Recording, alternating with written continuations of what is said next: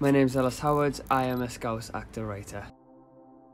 With Church Action on Poverty, I run a series of workshops all about how we can use our lived experience and transform them to activism, how we can own our stories of struggle, of food shortages to empower us and to help shape future policy and future lives. For so long, these stories, these experiences, these lives have been completely undocumented. They haven't been celebrated in a glorious, nuanced way. Get in touch with all of those things that make you unique and absolutely harness them because that's where your superpower lies.